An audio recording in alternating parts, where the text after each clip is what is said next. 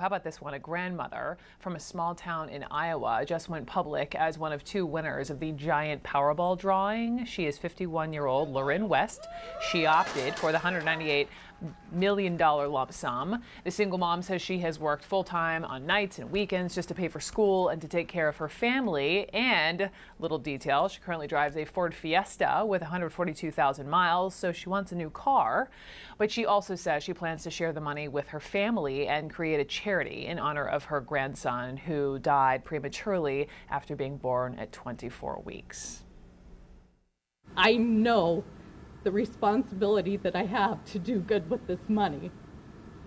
Once you have one and you realize the responsibility and, um, you know, just the impact that you can make, all frivolity goes out the window. It's, it's, um, you know, I started thinking more of who I'm going to help, and and my stuff has been a, sort of an afterthought to me. The day after the Powerball drawing, West says she actually couldn't find her ticket. Turns out she had left it on the floor of her sister's pickup truck.